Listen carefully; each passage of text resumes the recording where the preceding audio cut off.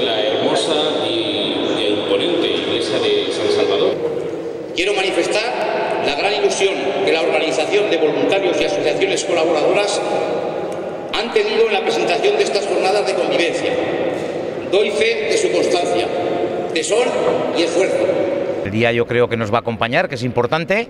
Bueno, yo creo que tendremos un gran día y desde luego la, la, hospitalidad que tenemos este municipio y la hospitalidad que tienen los pueblos venideros que seguro que van a dar la talla, al final va a ser un gran evento y una buena jornada de convivencia de la ruta del tambor y el bombo.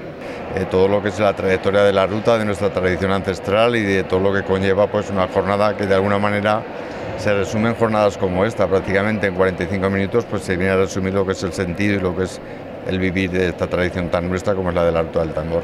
La Semana Santa tiene una gran importancia desde el punto de vista turístico, desde el punto de vista de la gente que nos, que nos visita, pero tiene también una importancia sentimental.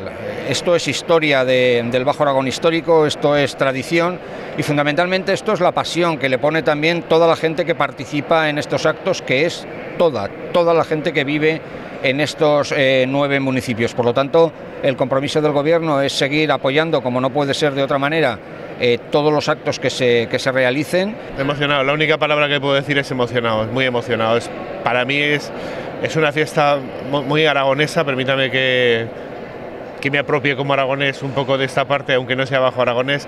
Es una fiesta muy aragonesa, es un sentimiento muy hondo y que me hagan participar de sentimiento tan hondo desde tan cerca es que es, una enorme satisfacción. Estoy muy emocionado.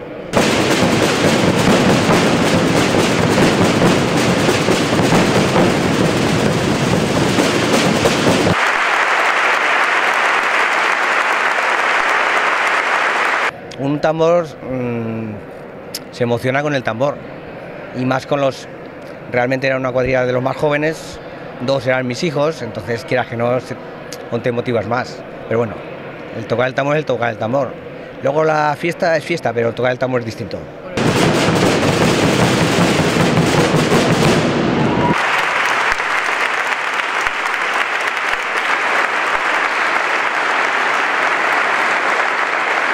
Es, para mí es un aliciente para, para, seguir en la misma dinámica y, y para hacerlo mejor todavía si, si cabe cuando recibí la comunicación de que habían pensado en mí, eh, le dije a Alfonso, déjamelo pensar, una semana, ya te contestaré.